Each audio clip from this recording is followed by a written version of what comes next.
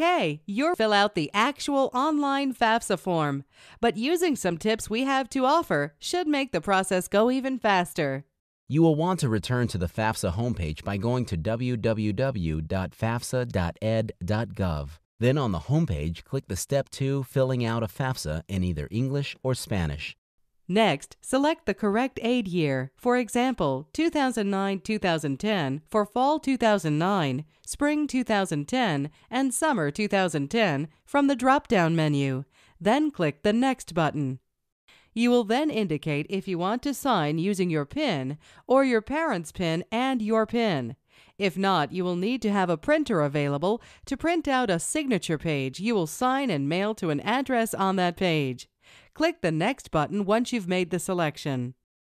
On the next screen, enter your social security number, name, date of birth, and your PIN. Create a password that you will remember in case you do not complete the entire FAFSA form and want to come back later. At this point, you can click the Next button and proceed to actually fill out the online form. And because you've already performed the hard work by filling out the worksheet, this part of the process should go smoothly for you. Just remember to enter all of your data from the worksheet, and you can save the information as you move through the online process. Do not leave the question, Will you have a high school diploma or equivalent before you enroll blank, or the processing of your FAFSA will be delayed. Be sure, though, to go to the very end in order to submit your application.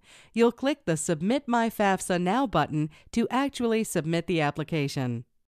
Once you submit the online form, you'll receive a confirmation number. Print the number if you have a printer. If you don't, just write the number down and keep it in a safe place. And that's it.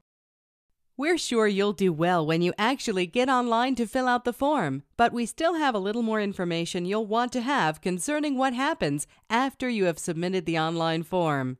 So click the Step 5 button and we'll give you that last bit of important information.